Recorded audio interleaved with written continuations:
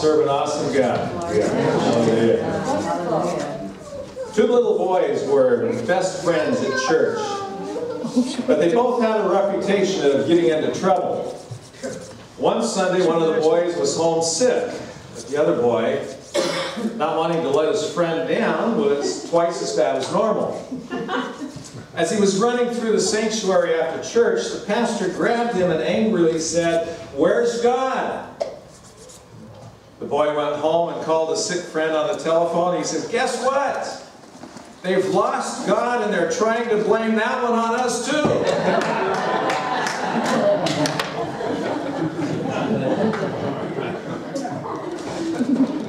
Turn in your Bibles to 1 Corinthians 10, verse 13. And if you are a note taker this morning, I'm going to I'm going to give you a lot of scriptures. And so if you want to be ready, prepared to write those down, feel free to do that. 1 Corinthians chapter 10, verse 13. It says, No temptation has overtaken you except such as is common to man.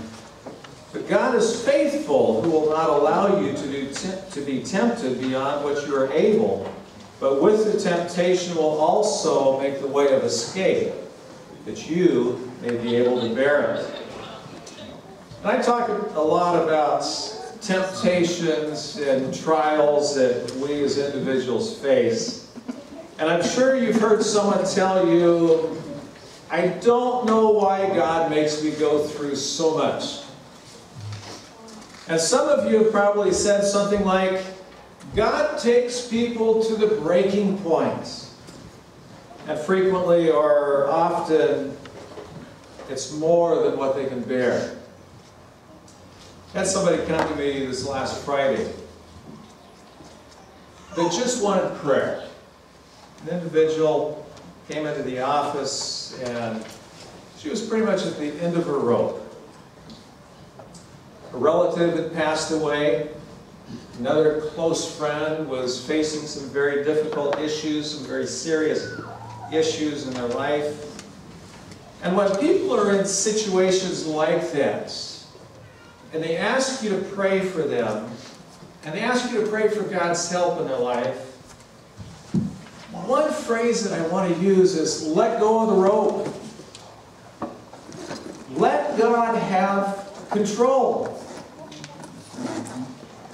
God says He will make a way of escape, but one thing we have to do is allow Him to have control of the situation.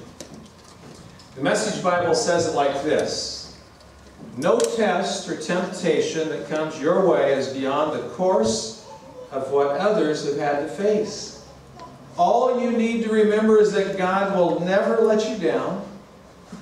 He'll never let you be pushed past your limits. He'll always be there to help you come through it. Amen. And there's a few more words as we back up to the King James Version here in verse 10 that stands out to me. It simply says, But God is faithful. There's two things you will know after reading verse 10. Number one, you will have trials and temptations. And number two, God is faithful. Let's define faithful. To follow through with a commitment regardless of its difficulty. Second part of the definition is firm in belief, reliable, dependable, honest, and loyal. Psalm 100 verse 5 in the New International Version says, For the Lord is good, and His love endures forever.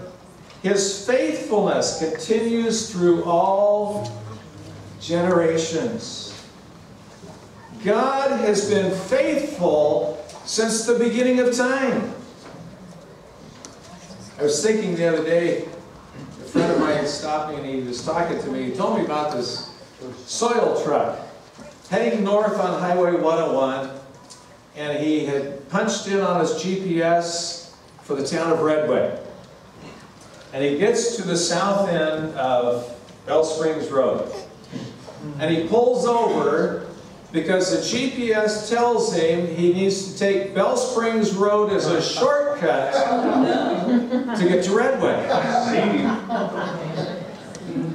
GPS is not faithful. Just thought I'd let you know that. God is faithful. God is faithful to keep His promises to us. I want to give you some examples of that.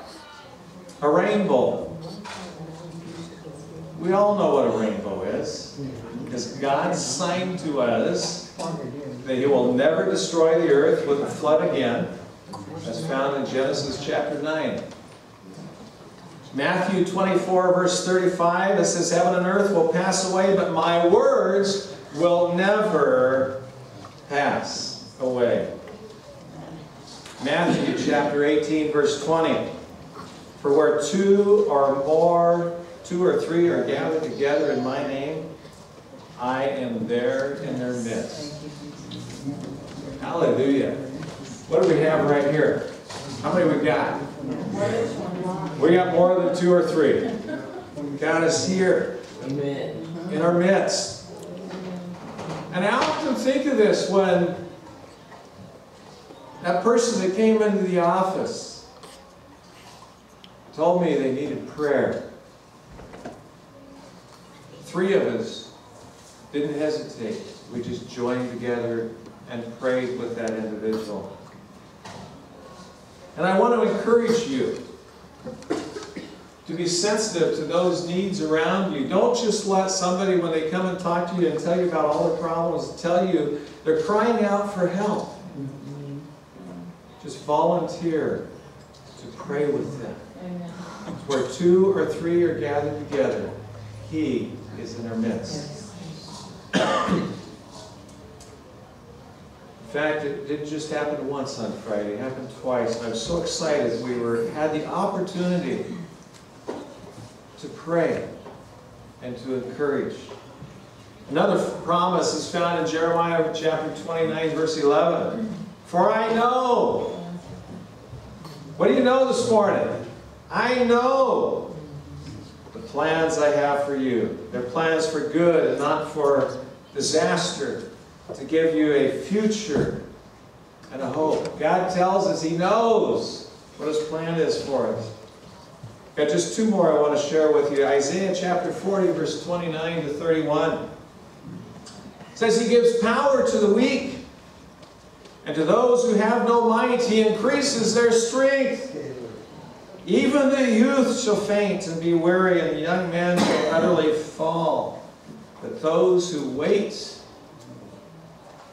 those who wait on the Lord shall renew their strength. They shall mount up with wings like eagles. They shall run and not be weary. They shall walk and not faint. Hallelujah.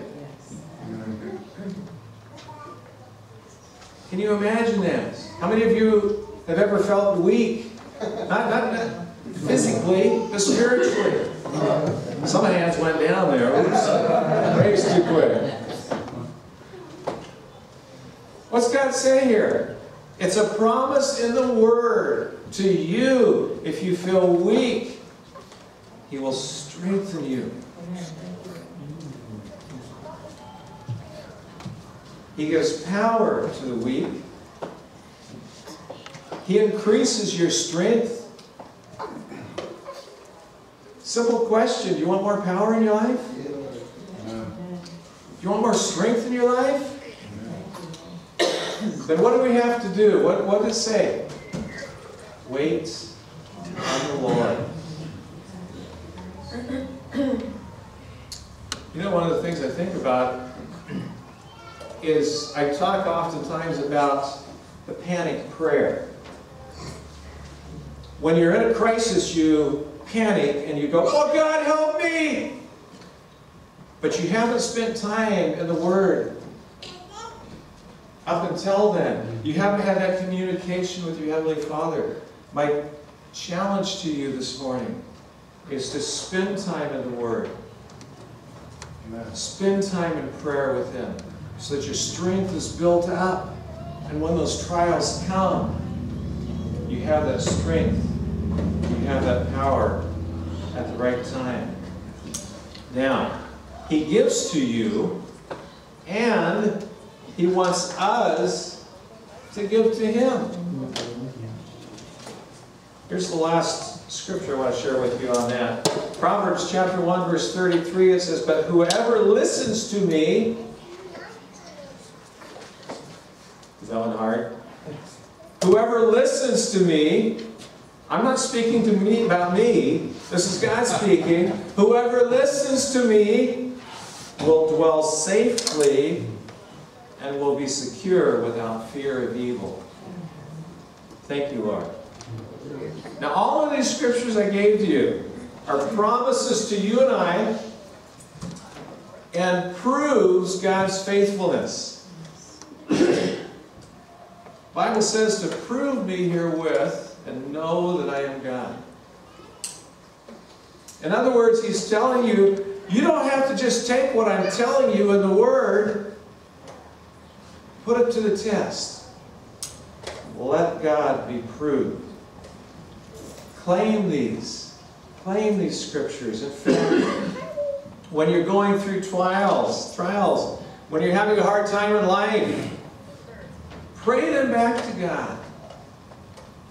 And watch His faithfulness in action in your life. Every time you see a rainbow, every time you pick up a Bible, every time you begin to worship Him, you can remember His promises to you. And remember that He's faithful. He's faithful. Matthew chapter 5, verse 48, it says, Therefore you shall be perfect, just as your Father in heaven is perfect. And then Philippians chapter 3, verse 12 says, Not that I have already attained or am already perfected. First, when Jesus is speaking to us, Second one, Paul is saying that. And I know some of you are wondering, you know, what that has to do with faithfulness. Jesus said in short that we should be perfect like he is perfect. And then Paul says, I haven't got to that point yet. Has anyone gotten to that point yet? No, no I'm sorry. I should have asked that. We're working on it. And I know that we need to be working on that. But Paul said also, I'm pressing forward.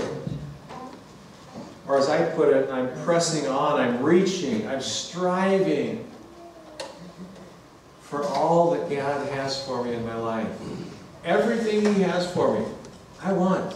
I'm selfish. Because I want everything that God's got. God wants us to learn to be faithful. Scripture gives us examples of people in the Bible that weren't perfect, but were described as faithful. Let's take Moses for an example. Moses was the one that God used to lead his people out of Egypt. He was the one who received the law from God, and he was the one who led God's people through the desert for 40 years. His imperfections kept him from going into the promised land. But Moses was not perfect, but he was called faithful. Found in Numbers chapter 2, 7, it says, God, Moses was faithful. David was chosen as a young boy to be king over Israel. He reigned for 40 years, defeating God's enemies. He was called a man after God's own heart. Yet David wasn't perfect. And David, in 1 Kings chapter 3, verse 6, was called faithful. And I want to give you some scriptures that show that God is calling us to be faithful. Found in 1 Corinthians chapter 4, verse 2. It is required that those who have been given a trust must prove to be faithful. When God gives you something, when God has given you a gift, He wants you to be faithful in using that. Romans chapter 12, verse 12, it says, Be joyful in hope, patient in affliction, and faithful in prayer. 1 Peter chapter 4, verse 10, it says, Each one should use whatever gift he has received to serve others, faithfully administering God's grace in its various forms. And you can see from these verses how God wants us to be faithful in our walk with Him. And also, two of the characteristics of faithfulness are loyalty and reliability. We must hold true to our walk with God, even as we face trying times. And one question comes to mind how do we develop faithfulness? Let me answer that with a, a simple illustration. Does an apple tree stand out in the middle of an orchard saying, Now, how do I develop apples? Any, any response on that? No. Tree? An apple tree produces apples because that's what they do. Galatians chapter 5, 22 talks about the fruit of the Spirit. The fruit of the Spirit is love, joy, peace, long-suffering, kindness, goodness, faithfulness, gentleness, self-control. Catch that one word in there that we've been talking about? Back up. That faithfulness. That's a fruit of the Spirit. So if these things are not in your life, you need some pruning done. Is that what you do to an apple tree? You prune it every year? Get it all ready to see it grow again? And, and what, what's, what's pruning? It's cutting, snipping here and there. You know, sometimes it hurts.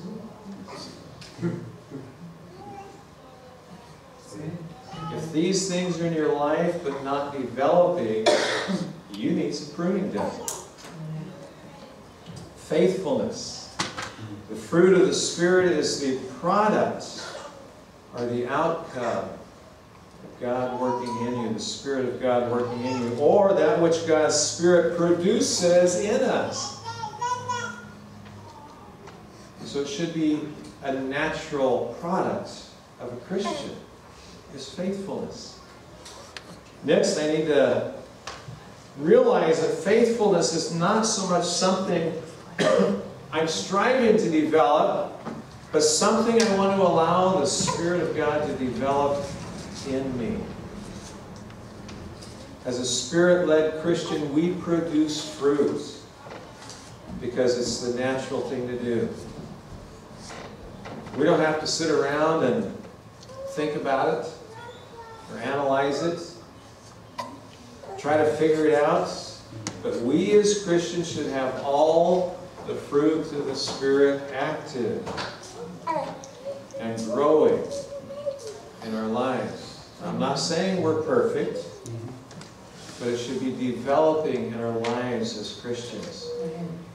We as Christians should have all of them active.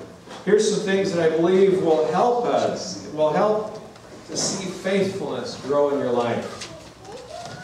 Number one, Jesus was tempted. Guess what? So will you. Through those temptations, remain faithful to God.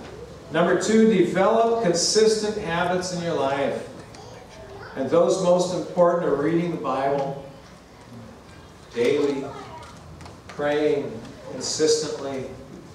And you must do this so that when trials and temptations come, you are ready to face them. Peter made mistakes in his life. When he got knocked down, he got back up. God chose the faithful, not the perfect, to do great things, such as Moses, such as David. God wants to use you to get things done in His kingdom. Has anyone here ever prayed for patience? I wear knee pads a lot when I'm doing that. And some of you probably wear body armor because you are going to. So I guess my next question is what happened, but I don't want your response right now. Really, I don't. Because I know what it is. When you pray for patience, how do you get patience? Trials. You go through trials. Consider the patience of the red with People tell me all the time, don't pray for patience. Well, I'm going to tell you something a little differently today. I challenge you this morning to pray for patience. Why? Because if you don't pray for patience, you're never going to grow. Think about that. You're never going to change. You're going to stay right on a level plane, going really nowhere in your life. But the other challenge I have for you this morning is I want you to pray for faithfulness. And then I want you to see what God does in your life. Amen. If you want to grow, pray that God will use you. Pray that God will develop that patience, that faithfulness in your life. And when you look back, a year down the road, you're going to go, oh wow. Thank you, Lord. Thank you, Lord, for helping me grow in you. Amen. Let's pray. Heavenly Father, this morning I just want to say thank you for your word. God, I thank you for this body and it's here this morning, this congregation, Lord. Lord, I know that individuals go through problems, they go through trials, they go through temptations. God, you are faithful to see us through, and you're faithful to provide a way of escape. And I thank you for that. I'd like every